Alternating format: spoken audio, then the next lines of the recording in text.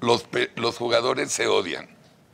Ergo, entre ellos, ergo, el Tata no tiene los pantalones para manejar ese. Esa es una. Dos, el Tata es un inepto.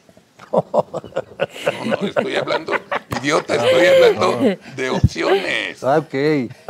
Ah, yo pensaba que estabas dando tu punto de vista. Sí, mi punto, lo dije ¿Ese es? Tres, somos más malos que la lepra y Canadá es mejor que nosotros, igual que Estados Unidos. No, mi, mi discusión, por supuesto que vamos a ir a Qatar, seguro, pero pues Canadá va en primer lugar y nosotros en tercero. ¿Qué te Nos parece? crecieron los enanos. No, no A mí me, Estados invita- Unidos a mí me Canadá invitaste a hablar de otra cosa.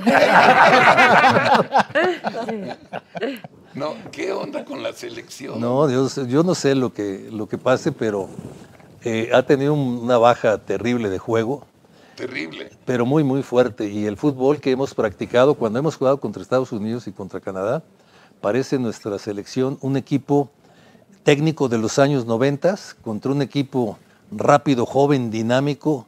Dos equipos como son Estados Unidos y Canadá. Se acomplejan. No, No. no, no, no, no, eh, no- nos, nos rebasan por el carril de la derecha, así, fu, y nosotros lo vemos así. Tenemos un equipo lento ahora, y sobre todo lo tenemos lento en el medio campo. El señor Martino pues, quiere casarse con, con esa idea, a ver si no le cuesta trabajo. Yo como Carlos estoy seguro que vamos a ir a Qatar porque nos toca, Sí. nos toca en eh, Honduras y nos toca El Sí, Salvador, lo digo no con todo respeto. Sí, Pero, y aparte, lo que decíamos hace rato de FIFA, ¿no?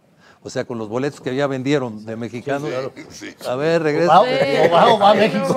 O va, o va. Pero, pero sí es para preocupar porque esta selección no demuestra el nivel que debería de demostrar. Y nos, y nos están ganando equipos que en teoría deben de ser eh, inferiores. Son, en este momento son, son, nos han ganado, son superiores, ¿no? Lo que ha demostrado Canadá en este, en esta, en este octagonal creo que ha sido una, una parte, lo que yo no, yo no esperaba de Canadá, pero ya es una realidad Canadá. Yo no sé si, si esta generación de futbolistas eh, eh, van, van a seguir generando esta cantidad de, de- de- de futbolistas de esa calidad. Hay jugadores que juegan y son titulares, como este eh, chico sí, eh, en, el, sí. en el Bayern Múnich. O sea, Sí, todos hay- están en hay- Europa. Y, y los ves Sí. jugar, lo que dice Raúl, en- en- a una velocidad totalmente diferente a la nuestra. Eh, entiendo que los eh, Herrera y los Guardado y eso que dieron y que hay que agradecerles lo que le han dado al fútbol mexicano, que no le han dado mucho. No, hagan, no hemos ganado nada. Lo decía en una entrevista, lo dijo Rafa Márquez. A, mí me eh, estuve en una generación extraordinaria, pero no gané nada, ¿no? O sea, con la selección nacional no hubo esa, esa revolución. Cuando llega el Tata Martino, creo que todos pensamos, Raúl. ¿Qué será? ¿Qué será? ¿Qué iba a ser diferente? ¿Qué iba que- también. y de todos, creo que eh, eh, en general el, nove- el 90% de los aficionados al fútbol y los que no, sabíamos que tenía esa posibilidad con el Tata.